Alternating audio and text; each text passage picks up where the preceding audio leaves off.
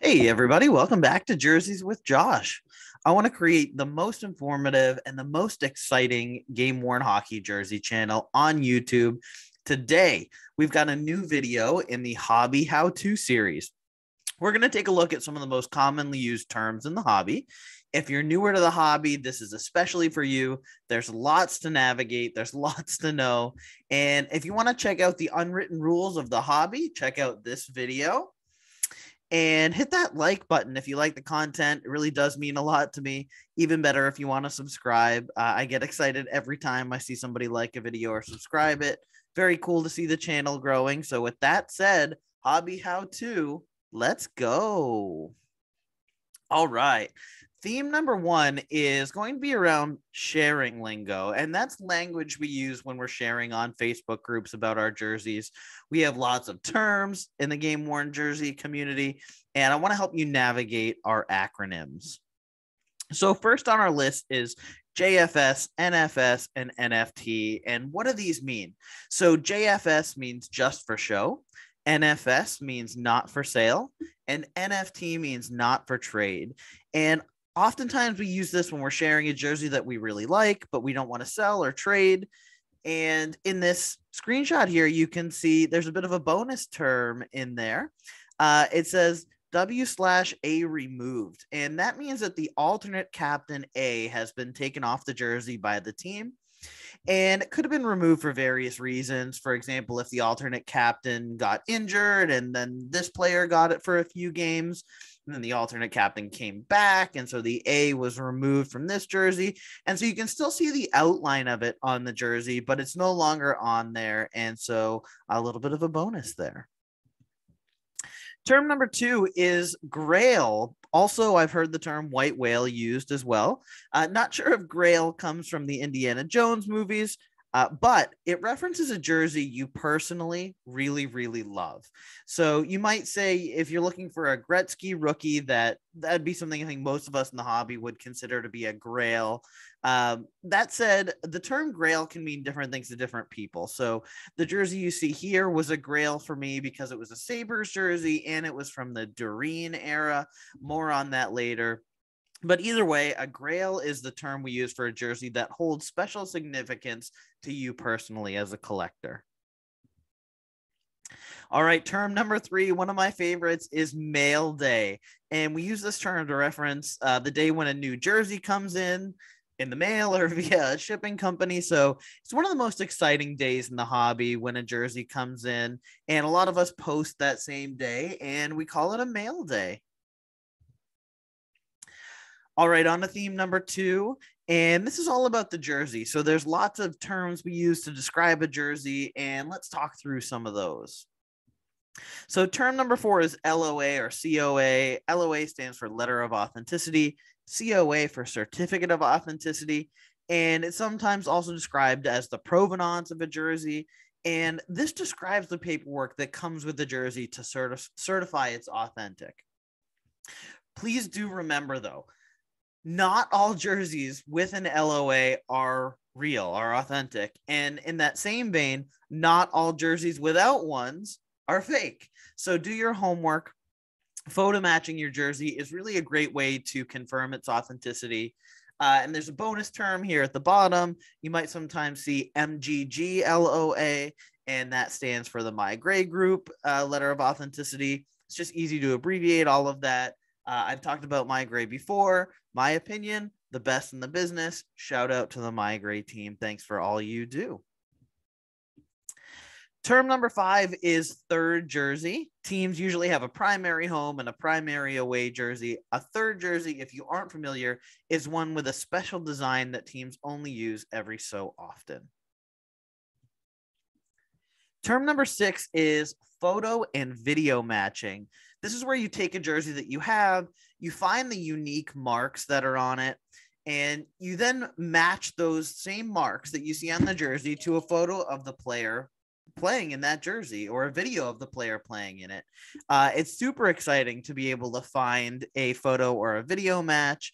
Uh, it's kind of great validation that the jersey that you have is real. Uh, lots of people frame pictures of the player using the jersey next to the jersey when they have it up on the wall. Um, if you don't have an LOA, it, it again it gives you that confidence that the jersey is authentic.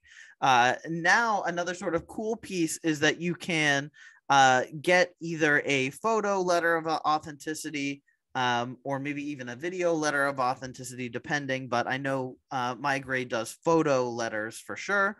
Um, but this was really cool. It's something that I never did before until this season, but I pre-ordered the jersey and then what I did was watch the player playing in the jersey that I ordered. And so then as he was playing, I could look for and watch for marks as he was on the TV. Uh, and I would look at the images on Getty Images every morning the next day after the game. And it was really fun to be able to do that and sort of get a sense of those matches that I expect to see when the jersey comes to me. And it was incredibly fun. Highly, highly recommended. All right, term number seven is one game wonder, and that's when a jersey was worn only for one game. Uh, usually, they show pretty light wear. Uh, this is not my post, but uh, it's one where you can see the term being used. Uh, there's also the term one period wonder, which often happens for special events like the All Star Game or the Winter Classic, where lots of jerseys are used because they're highly desirable on to term number eight, which is GI. That stands for game issued. Uh, that means the jersey was prepared for use, but wasn't actually used in a game. Sometimes a player gets traded after the jersey is already made, or maybe they got hurt. Um, it's still going to be an exceptionally high quality jersey because it was made for that uh, player to use in the game. It just wasn't used for whatever reason. And a lot of times these do have paperwork that come with them as well which brings us to term number nine, which is all about materials. So, uh, you know, wool is pretty pretty much as it sounds. In the very early days, uh, jerseys were often made from wool. I did a video uh, recently. I'll post a link up here uh, to a Ken Yackel Team USA jersey that was made out of wool from the 1952 Olympics. Super cool jersey. Um, there's also Durene, which I mentioned earlier, and that was just kind of like almost shiny nylon cotton blend, which is a very cool material. It was often used in like the 80s, that kind of era. And then you get into the air knits, the polyester meshes that are uh, much more common today. And on to term number 10. Look out, breaking out a chart for this one. This is all about how much wear a jersey has. So you can see at the bottom left, it starts with no visible wear, uh, just like how it sounds. Doesn't seem to have any noticeable marks.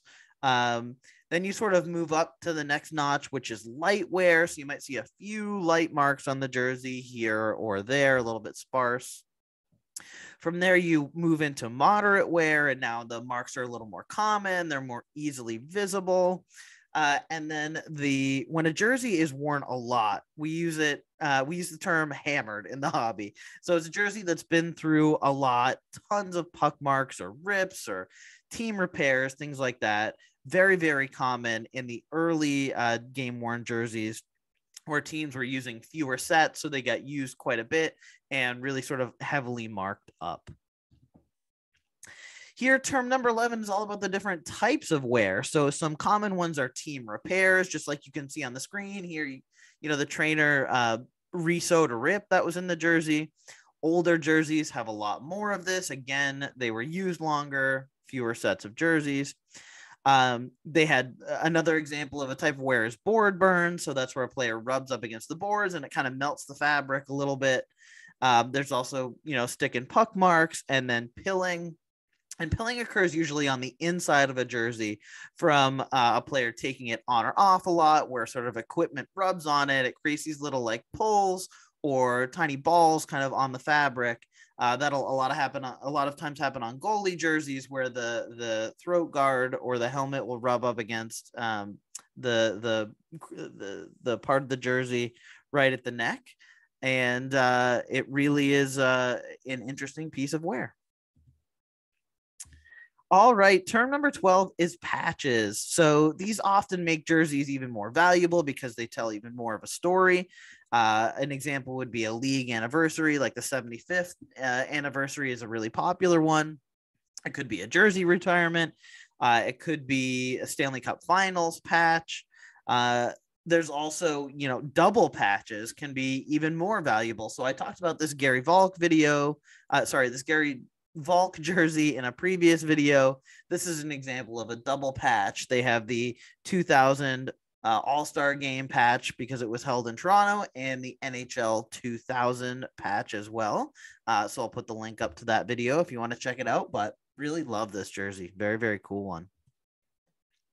So the third theme is around terms we use when buying or selling a jersey. And term number 13 is FNF and GNS. Uh, they refer to types of electronic payments where FNF is friends and family, uh, there's less fees usually with that method, uh, but limited protection. I think no protection if something goes wrong. Whereas uh, GNS or goods and services offers you more protection as a buyer. So I know some of us in the hobby have been burned by going the FNF route to save a few dollars, uh, but it hurts for sure. Uh, I'm not suggesting one or the other. I'll let you do your research uh, check the terms of use for whatever payment method you're using, and make sure you know to the best of your ability who you're making a deal with. And there you have it three themes and 13 terms we commonly use in the game worn jersey collecting community. Thanks for watching and hope you enjoy the hobby.